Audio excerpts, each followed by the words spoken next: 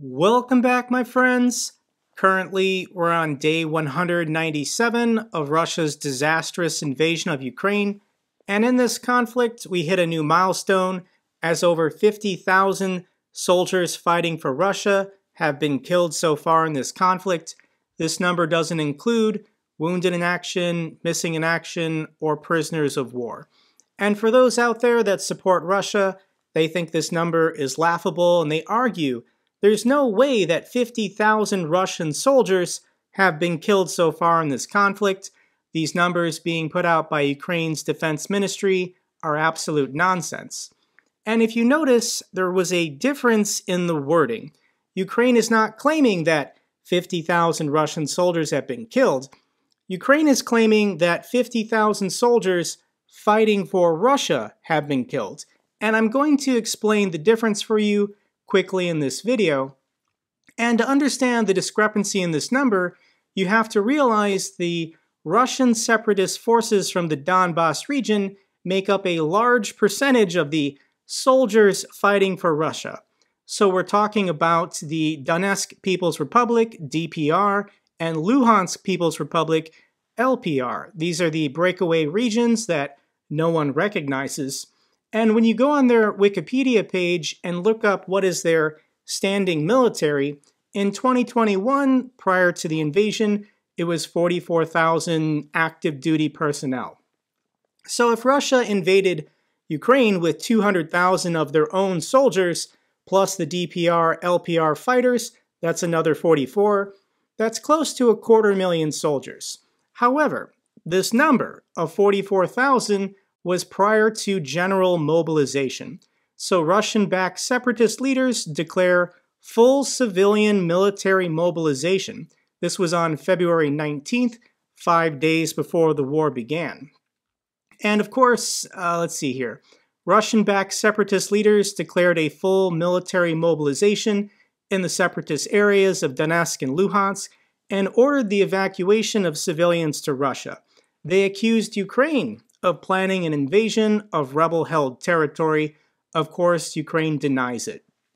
So, what are the population numbers for these regions? And we'll look just at the city centers. These are the capital of the regions. So, for the city of Luhansk, it had a pre war population close to about 400,000. For the city of Donetsk, it's much larger with a pre war population close to 900,000. So when you think about the controlled territory prior to this war beginning in February, we'll just use nice round numbers and assume that the population in this area is about 1.5 million people. So if 1.5 million people existed in this region from the beginning, let's assume, once again, nice round numbers, that about 500,000 of these people either fled west to get back into Ukraine or fled east to get into Russia to avoid this conflict. That leaves 1 million people remaining in this uh, Russian occupied rebel territory. Let's go ahead and assume 500,000 or half of them are women, and Russia is not going to force conscript them. So that leaves 500,000 men from this region. Let's go ahead and say that 250,000 of them are too young or too old or already have an essential government service job like police officer or firefighter, and they're exempt from general mobilization. So, how many men of able bodied age from the separatist region was Russia able to conscript and force mobilize? And the number has to be close to 250,000. We don't have the official number because the DPR and the LPR are not going to tell anyone, and Russia's keeping their mouth shut. But when you think about what was the true scale and size of this invasion for the Russian forces, Russia invaded Ukraine with closer to a 500,000 soldier army.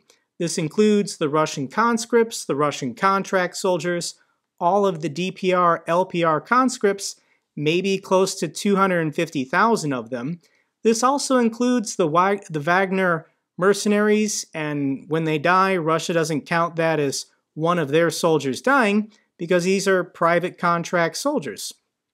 There's also the Chechen National Guard and any Syrian fighters that happen to show up. So when Ukraine claims that they killed a soldier fighting for Russia and they've killed about 50,000, they're counting everyone. They're counting the DPR, LPR, the Wagner mercenaries, the Chechens, the Syrians, whoever. Someone fighting for Russia that they took out, they're going to claim credit for that. So, what percentage of this number is actual Russian military deaths? Let's, I'm just going to assume half. So, maybe Russian military proper, conscripts, and contract soldiers. Maybe the Russian military has lost 25,000 soldiers. But when you look at this number and this ratio after six months of fighting, if there was a total invasion force close to 500,000 with general mobilization, then yeah, 50,000 dead after six months, that seems very realistic given how horrible the Russian military has been fighting this conflict so far. They've not had a good strategy, good tactics, or a good plan, and there's no end in sight to this conflict. Russia cannot achieve their military objectives.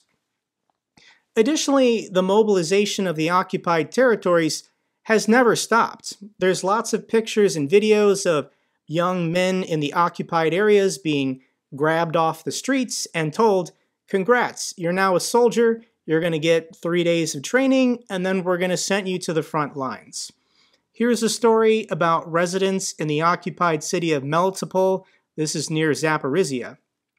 And they accepted Russian passports, Russian citizenship and they're now receiving orders to sign up for military service.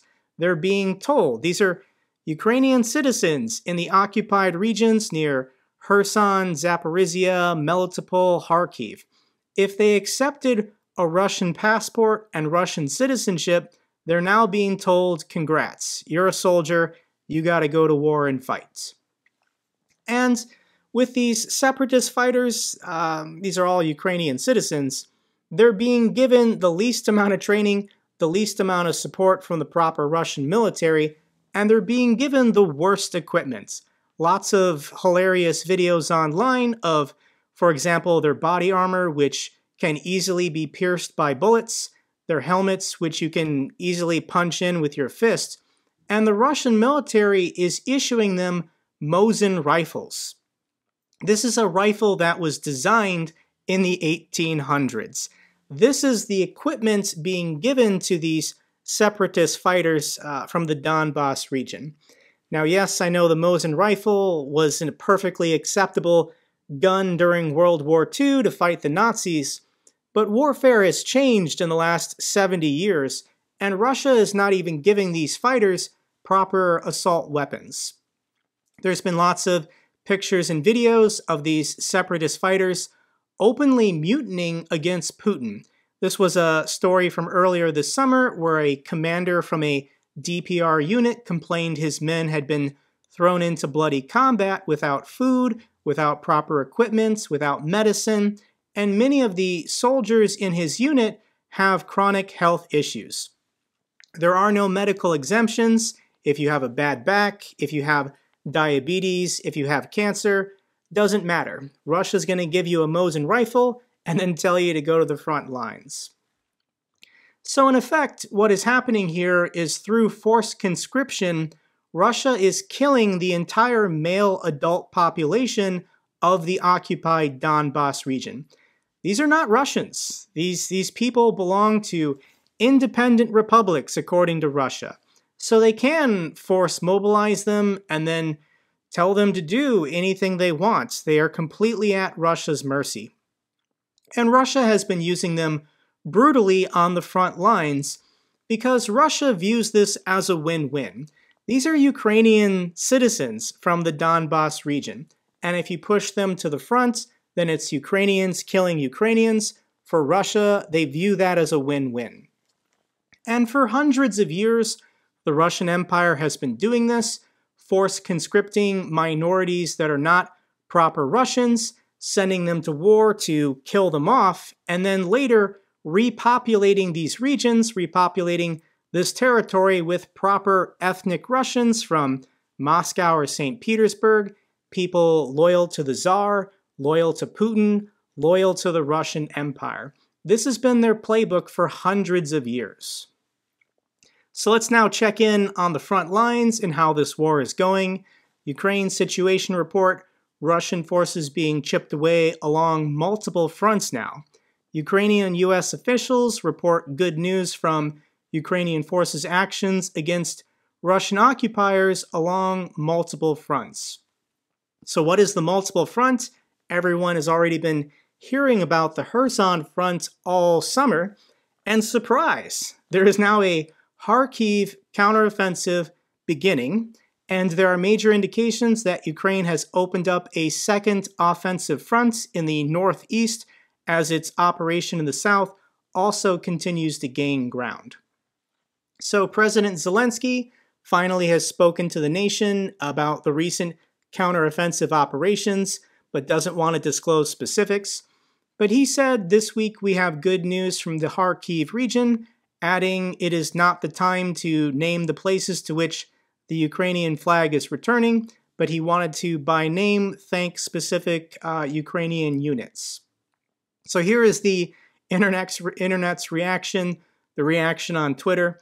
All summer we've been talking about and waiting for this Kherson offensive, and surprise, we've got amazing pictures and videos coming out of the counteroffensive in the Kharkiv region. So here is uh, here's what's been going on. The Ukrainian move to draw Russian forces into Kherson is clearly one of the greatest strategic moves of the war so far. It brought some of the best Russian military units into Kherson, where they can't be resupplied and are being methodically grinded down. And it's made the Russian units thinner uh, along the front line in other regions, specifically Kharkiv. So when we look at the war map, there really is four fronts. There's the Kherson front on the north bank of the uh, Dnieper River. There's the Zaporizhia front with the Zaporizhia front, which I think neither side really feels is to their advantage to advance at this time. I think this will become a more serious and uh, contested area in the near future, but Right now, neither side seems to be fighting that hard.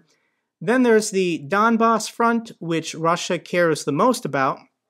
Their stated objective is to get to this dotted gray line, and since taking the city of Severodonetsk and Lysychansk over two months ago, they've made no significant progress on the ground. The Wagner mercenaries are in charge of this uh, advance because Russia thinks their offensive capabilities is the best. So the forgotten fronts, the fronts that maybe Russia was not paying attention to, was the Kharkiv front up here. And they chose to staff this region with their least capable, least trained, least motivated troops, which are the DPR and LPR separatists. So when we zoom into this region, I'll just show you how the war map on Deep State Map Live been, has been changing. And we'll go back in time a couple days just so you can see how the front has been changing. I think uh, the Ukrainians started making moves closer to around the 5th or 6th. So let's go back. All right, here we are. This is September 5th. We'll then jump ahead to the 6th, and you can see there was a little blob of land that the Ukrainians uh, retook there. We'll now switch it to the 7th uh, at the end of the day. And they pushed in, I mean, this is over 10, 10 kilometers in a single day. We'll now swap this to, uh, let's see here, the 8th at the end of the day, and a huge advance going in to retake this road. And you can see uh, they're firmly in control of this territory. And if you believe all of this is uh, Ukrainian propaganda, it's Russian media sources that have been reporting on this. Russian media sources confirm the encirclement of Russian forces in the Kharkiv Oblast. Their front lines are completely collapsing. Lots of fantastic pictures and videos. Let me share this one of you of a Soviet battle flag. Uh, the Russian military still flies these, being taken down by Ukrainian forces in a liberated village.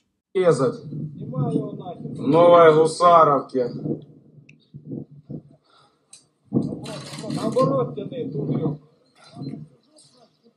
На трезубе флаг пидорский. О, пошел в сраку.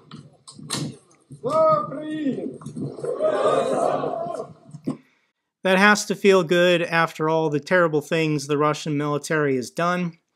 And these lines collapsed so suddenly, uh, soldiers were either captured or retreated, leaving behind a lot of their equipment. Lots of pictures and videos by the Ukrainian military of ammunition and equipment and weapons that they've captured. They'll be put to good use. Lots of artillery pieces and munitions, once again, also left behind. My suspicion is that within a week or so, these will be used on the Russian forces themselves. Lots of uh, POWs being taken in, Russian soldiers either surrendering or being taken by force. And I'll show you a clip of a video just to give you an impression of how young these soldiers are. Uh, the men in this truck, they look like they're 18, 19, 20 years old. Anyone who's 22 years old or younger, that, that's Russian, they've only ever lived in Putin's Russia. They've been subjected to 22 years of Kremlin propaganda, pro Putin propaganda, and the only reason why they would continue to fight is if they actually did suspect or believe that they were the good guys and that Europe is full of Nazis and they had to invade Ukraine to protect Russia, but these young men are going to be taken to a POW camp and then finally told the truth that they're the bad guys. They're the ones who invaded their peaceful neighbor and have been uh, committing war crimes. Сука, блядь, я охуею, парни, блядь. Граждані, граждані ви якої, блядь, країни, блядь? Алло. Якої країни? Росіяне? Росіяне? Росіяне? Росіяне? З якої частини откуда? Откуда? Вообще с Саратовым служит Я понял. Батьки, батьки есть, батьки есть, батьки есть. Сколько років? 40 лет. Сто- To me, their faces say it all. I hope in time that they can learn the errors of their way, seek forgiveness, and find it on some level with, with Ukraine. Pivoting now to the Kherson front, uh, the Russians are at it again. This time they're using a different location to attempt to ferry across supplies. The ferry at the Antonovsky Bridge, I think, got blown up. So they're trying to ferry across supplies at a different location. This isn't going to work. Additionally, they're also attempting to construct another pontoon bridge closer to the center of the city in Kherson. Once again, as soon as they complete building it, Ukraine is just going to blow it up again. I, I don't even know why they're bothering when it is impossible to stop these HIMARS missiles. So you can see where they're attempting to ferry across now, also where they're attempting to build a new pontoon bridge. This is closer to the city proper so that the uh, Russian military here can be uh, more directly resupplied. Having to go to the Antonovsky Bridge up here, you can see it's a bit more of a drive. I don't know if a ferry is capable of kind of getting up this smaller river in this marshland, but maybe they're having to drive it to a loading dock uh, somewhere right here and then get it across. This is completely futile. The Ukrainians are going to keep blowing up these pontoon bridges, complete, com- uh, continue blowing up these ferries. Russia cannot get their forces resupplied on the north bank of this river. And here's the ultimate indicator that Russia is struggling, that Russia is getting desperate. According to US intelligence, Russia is now buying millions of rounds of artillery ammunition from North Korea. One, if it was produced in North Korea, I would be dubious of the product quality. I wouldn't trust it. But I don't even think North Korea makes their own artillery shells. So this means that North Korea's stockpiles of artillery, they either got it from the Chinese or they got it from the Russians. And it would be a sweet irony, uh, an absolute hilarity if North Korea 20 or 25 years ago bought all of this artillery ammunition from the Russians. And decades later, they're now selling it back to them, probably at a considerable markup to make some short term profit. But if Russia is desperate enough to uh, ask, be asking the North Koreans for artillery ammunition, this means their own stockpiles are depleted. They've already taken Belarus's stockpiles. They've already taken uh, equipment and munitions from Syria. They're already begging the Iranians for help, asking for those drones. This does not look good for Russia's long term military capability to continue fighting this war. Let's now wrap up this video with a feel good story, as there was a chimpanzee from the Kharkiv Zoo that escaped his habitat, and he was walking around the city while zoo employees were trying to convince him to return to the zoo. It was only when it started to rain that the chimpanzee ran to a zoo employee to get a jacket and then agreed to return to the zoo. The chimpanzee agreed to return to the zoo.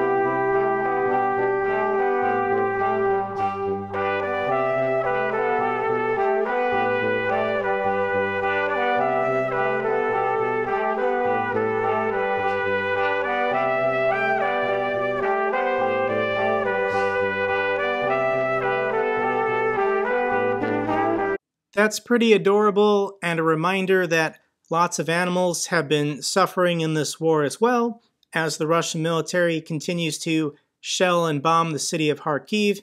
It's impossible for animals like this chimpanzee to understand what is happening to them. That's all for this update video. Glory to the heroes, glory to Ukraine. If you found this video informative, give me a thumbs up. Best way to uh, support my channel. Comments or questions, let me know down below. I love hearing from you guys. Till the next video, take care, be safe.